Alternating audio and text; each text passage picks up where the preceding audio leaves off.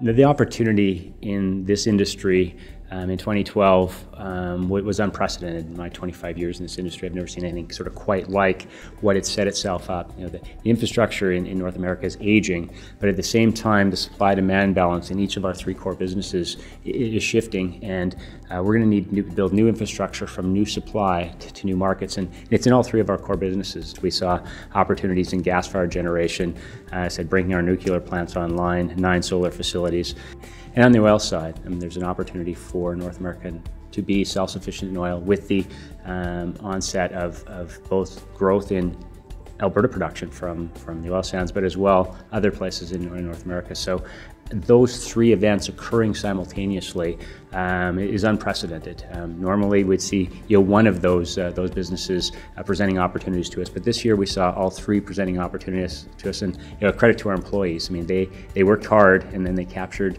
significant opportunities in, in all three of those those business lines counterparties looked at who would build these projects. They looked at TransCanada and our track record and our processes and our procedures, our safety track record, our environmental stewardship track record, and basically came to the conclusion that that's the kind of company that they want to work with. And that's going to be our competitive advantage going forward. We're going to have to hone those skills, we're going to have to build on those skills, and that's what's going to be the base of, of our future. We have to up our game. We have to become better at what we do. We have to understand why the industry had those those issues um, and make sure that they don't happen again. Do everything in our power to make sure um, that we deliver this product as safely as, as we possibly can. And companies like ours need to be industry leaders, not just for the sake of our companies, but for the sake of our industry. Um, if we don't do that, um, simple that, that, we won't be in this business any, any longer. We won't be allowed um, to, uh, to, to do what we've been doing for the last 60 years.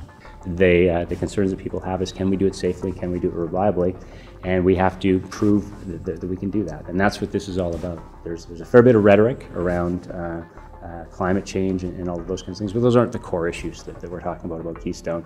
What people really want to know about Keystone is can you guys build it safely and reliably um, and, and, operate it uh, to a standard that, that's different than, than we've seen in the past? And, and our answer to that is absolutely yes.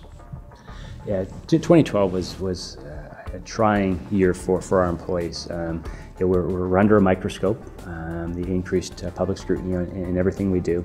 And what I can say is I'm extremely proud of, of how we dealt with every one of those issues in, in, a, in a professional way. The employees just continue to perform day in, day out uh, under pressure um, in a professional way, sticking to the values of, of, of our corporation.